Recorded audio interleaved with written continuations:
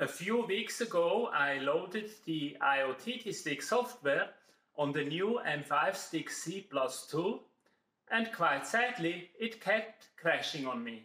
What was going on? In this video, I discuss the differences between the old and new versions of the IoTT Stick hardware and how it is supported in the new IoTT Stick version 166 software I just released. Hello everyone and welcome to the IoTT channel. I am Hans Tanner. A special welcome to all new subscribers and welcome back if you have been here before. I'm happy you made it here and thank you for your support of my channel. And just in case if you find this kind of content interesting and helpful, please consider subscribing to the channel.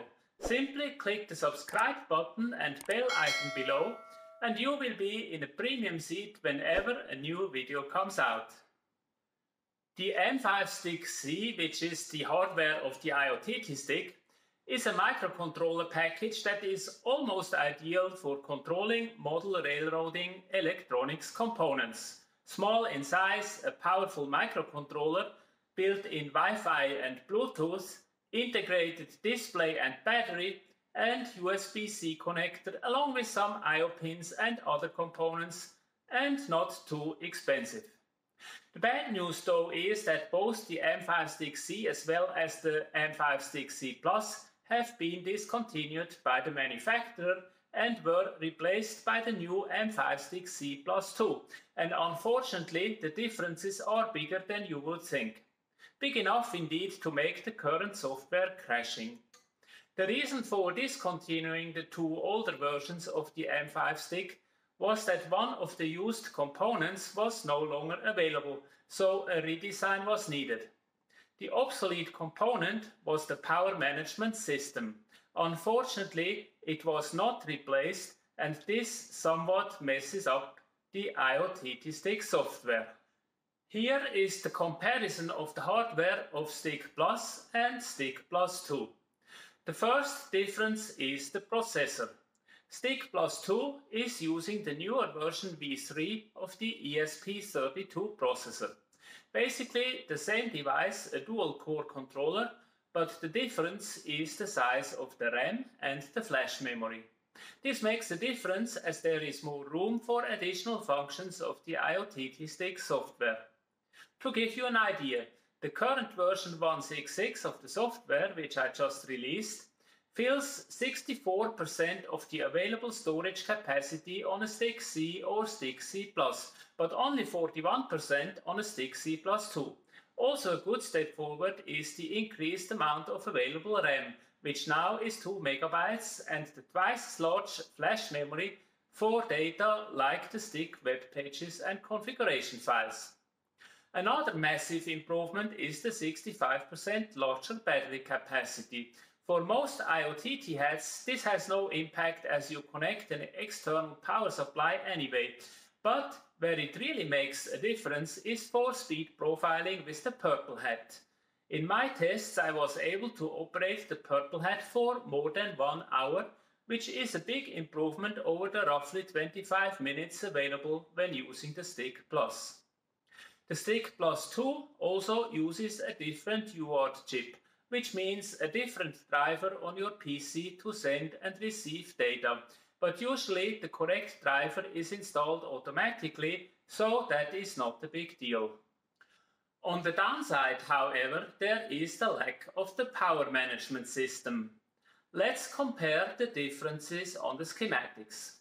Here is the schematics of the M5 Stick C Plus. The large gray chip is the power management unit. Without going into details, we can see that pretty much everything is connected to it. Power inputs from USB and external power in on the head connector. The battery, the 3.3 volt and 5 volt power rails to all the other components, and the boost converter that converts the battery voltage to the external 5 volt supply on the head connector. The power management chip itself is pretty powerful. It can charge the battery with up to 1.4 amps and the internal buck converters are all rated around 1 amp. This is the reason why the IOTT stick can run a yellow or blue hat with several LEDs attached to it without external power connection, at least for a little while. Besides that, the power management unit interface provides data about voltages, currents and temperature, which is the basis for the technical data display on the IOTT stick. Comparing that with the new M5 Stick C Plus 2 shows quite some differences. Here we have a simple battery charger chip with a maximum current of 500 milliamps. The battery output connects to a buck converter for the 3.3 volt supply and a boost converter for the 5 volt supply to the head connectors. The maximum currents are 3 amps for the buck and 2 amps for the boost converter. That itself is okay, but how do you supply that from a battery and charger that only can supply 500 milliamps? Yes, it does not work without depleting the battery, and therefore, if you want to power external devices like LEDs, you have to provide an external supply via 5 volt in. This can come either from the USB port or the 5 volt in contact on the head connector. So what happens in reality is that if you run a yellow or blue hat with the stick connected to the USB port of your computer, it works. But as soon as you disconnect the USB cable, the current is supplied from the battery for a few seconds and then the stick shuts down because of power failure. If you run a purple hat on the other hand, which only draws a few milliamps, the power of the stick is sufficient to supply the attached hardware and as mentioned, it can run for much longer because of the larger battery. Overall, the missing power management chip is a step in the wrong direction but it is not a showstopper. It has some impact though on the power on and off behavior, as described on the M5 Stack webpage. For the Stick C and the Stick C Plus, this process was pretty simple. Click the power button to start it up. Click and hold it for 6 seconds to shut it down. For the Stick C Plus 2, the behavior is different and depends whether there is external power connected to it or not. To start it up, you have to connect power or you hold down the power button for at least 2 seconds.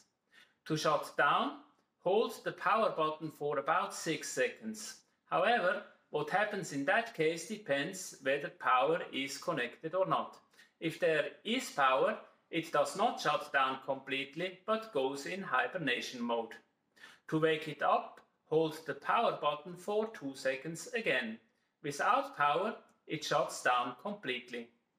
I noticed that it sometimes has difficulties waking up from hibernation mode and it takes several approaches. Maybe this is something I can improve in the software, we will see. For the moment, it seems that the most reliable way to start it up is by applying power to it. And to shut down, simply unpower it. It will shut down within a few seconds if there is power consumption on the head or when the battery is down to a voltage of about 3.5 volts. There are a few minor differences you might be interested in if you want to do some programming yourself. Here is a table of the usage of IO pins.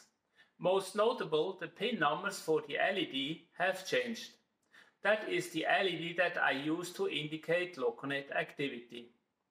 On the stick and stick plus, it was on IO9. On the stick plus 2, it is on pin 19 and the infrared LED, which used to have a separate I.O. pin, is now also on pin 19, so they can no longer be controlled individually. Funny enough, the logic of the LED has also changed. On the old stick, the LED was on when the I.O. pin was low. On the stick plus 2, the pin needs to go high to turn on the LED. There are some I.O. changes for the display as well, but this is normally handled by the display library and as programmer you don't have to worry about it. Now, with all these changes to the hardware, the IOTT Stick Plus 2 can no longer run the same software as the other two versions, and for the first time I have to release hardware-specific updates. The reason for this is not so much the missing power management system, which could be handled in a configuration option. The bigger problem is the memory configuration with the increased flash size and therefore different parameters for the installation. So here is how it works. If you go to the GitHub page, click the 1.6.6 install file option. You then see four zip files listed, m5 update.zip and m5 update mac os.zip are for the IOTT stick and IOTT stick plus, so the old hardware version. The other files, m5 update plus 2.zip and m5 update plus 2 mac os.zip or for the new IOTT Stick Plus 2 hardware. As before, you click on the file you need and on the next page you click the download arrow in the upper right corner of the page. Download the file and store it on your hard drive. You then extract the content, connect the IOTT stick to a USB port of your computer and run the batch file. The installer should find the stick automatically and install the software. If not, Follow the instructions in the README file to force the installation to the USB port the stick is connected to.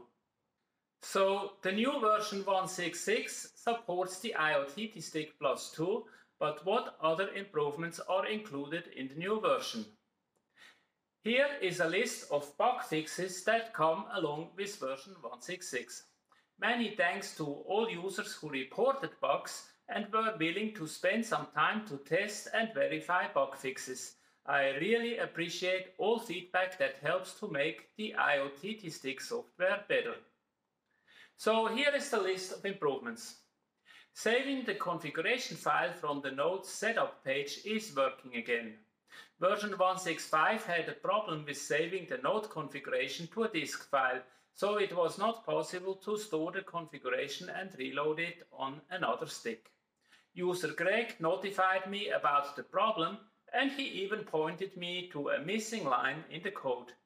Easy fix, thank you Greg. Then functions for F14 to F28 for the Red Hat are now implemented. The Red Hat so far did not properly support local functions F14 and higher. In fact, it crashed whenever you tried activating one of the functions from Engine Driver. User RCFlyer 10 reported the problem and even implemented it in the software. All I had to do was merging it into the code base and now it is working. Excellent work, RCFlyer 10. Thanks a lot. Then I added a large display option for the Purple Hat speed measurement. User Louis asked for a larger font in the Purple Hat display page. He is running the Purple Hat as a real-time speedometer on a club layout and wanted a larger display so the speed can be seen from a distance. I created a new option in the Purple Hat setup screen to enlarge the font size. Thank you, Louis, for the suggestion and doing the initial testing. Next, the test end criteria for speed profiling has been refined. Users John and Aaron reported some problems with the Purple Hat when speed profiling. In one case, the messages from the stick got shortened on the way to the profile page, and in the other case, the speed profiling test went on forever. Turns out that the two problems were somehow related, and as a result, I added an additional criteria to stop the speed profiling test if something goes wrong. Thanks John and Aaron for finding the problems and testing the bug fixes. And yes, John, I still need to do the notification window you suggested, but that will come with the next version. Then an annoying MQTT message duplication was removed. User Joel reported a duplicate display of MQTT messages in the Loconet viewer when using the MQTT gateway and some problems with the initialization of the servo positions when the green hat starts up.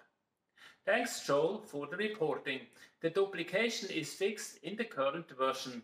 The servo positioning remains on my to-do list and will be addressed in the next version. There are a few more, but more technical and less visible from the outside. And of course, if you run into a problem using the IoTT stick, please report it so that it can be addressed in an upcoming version of the software. The IoTT Stick Plus 2 is now available in the Tindie store. It replaces the older IoTT Stick Plus. I also have some standard sticks left in inventory, so if you buy a stick, you can choose between the new IoTT Stick Plus 2 and the original IoTT stick with a lower price tag. If you plan to run a purple hat, the IoTT Stick Plus 2 is strongly recommended because of the larger display and more powerful battery. For all other head products, the standard IoTT stick will do without problems. Once I run out of inventory, the Stick Plus 2 will remain the only hardware option, but of course I will keep providing software updates for the old hardware as well. And that's it for this video. I hope this information was useful or at least interesting for you and you have now a good understanding of the differences between the old IoTT stick and the new IoTT Stick Plus 2 hardware. If so, please click the like button below to let me know. Also, feel free to let me know your opinion in the comments section of this video. I always like to hear from my viewers and appreciate your feedback. Thanks for watching and see you in the next video.